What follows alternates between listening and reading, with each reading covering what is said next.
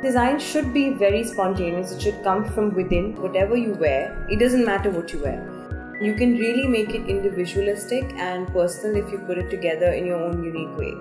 I don't do stuff the way designers do. I mean, the whole process, the whole uh, approach to design is very different, and I try and create something that is more out of, you know, um, an imagination. I don't find it important to be by the book. Gifting is such an intimate thing. I think when I'm gifting people, I mean, I'd probably jog down memory lane and say, you know, uh, what moments have I shared with them? If not, uh, there's some people who love shopping for themselves, so you can just give them a gift card instead.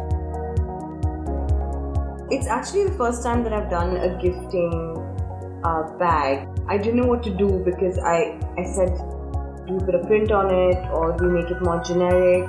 We thought gold is something that works beautifully.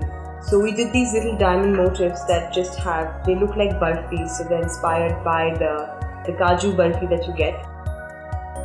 The leaf that you see is actually a leaf from the banyan tree and uh, it's supposed to be really really auspicious in India which is why we used the, the leaf and decided to do it in a really edgy gold block motif and have a red peeking from the bottom so that it looks even more festive. For the gift bags we've done a lovely purple blue and uh, we decided to do this in beautiful colors and the gold foil because uh, it really needed to come together in terms of a whole piece that people would look forward to if they, if they came home to it. It's almost like a souvenir.